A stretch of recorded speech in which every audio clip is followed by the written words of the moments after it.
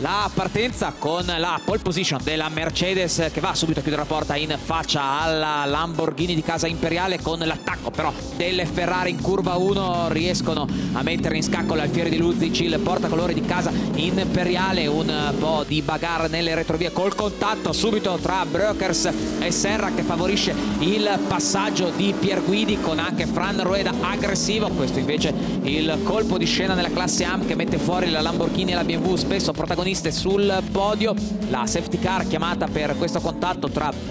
Stefano Costantini e la BMW del team Oliump deve essere ripulita la pista con anche Giuseppe Cipriani che va a tamponare un avversario alla ripartenza purtroppo fuori dai giochi la Ferrari di Daniele Diamato con anche la vettura di Casa Rinaldi che finisce in testa coda evita clamorosamente il contatto Michele Rugolo Qui il sorpasso di Raffaele Giammaria galvanizzato al restart con eh, i migliori pneumatici a disposizione per lui. Il sorpasso ai danni invece di Liang da parte di Damiano Fioravanti che riscatta così una difficile corsa nella giornata di ieri tenendo alle sue spalle Jeron Mull, l'onboard della Mercedes di Battista che viene superato dalla Ferrari di West. Il confronto che mette fuori in base dalla lotta per la top 5 Alex Liang passa la BMW clamorosamente dunque sesta sul traguardo e la prima vittoria in stagione per Marcelo Anne ed Alan Kodair nella classifica assoluta davanti alla Lamborghini di Riccardo Agostini un ottimo risultato per la Huracan GT3 che porta addirittura quattro vetture